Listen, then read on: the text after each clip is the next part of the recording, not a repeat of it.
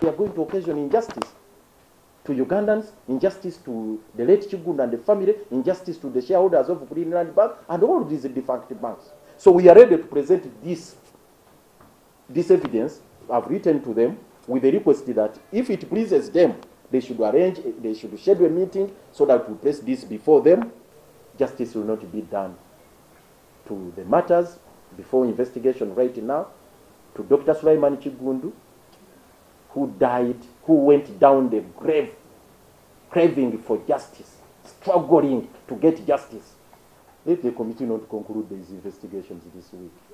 If it's a question of time, if it's a question of time, let them hand over to the new, the newly appointed committee. If they have strict timelines within which to accomplish the investigations, I owed Dr. Kiggundu a duty to ensure that these matters are brought to the fore. And that is the prayer I'm making to you, that these issues are brought to the fore. Having said that, having said that, I'm sorry, let me end there. I'm sorry.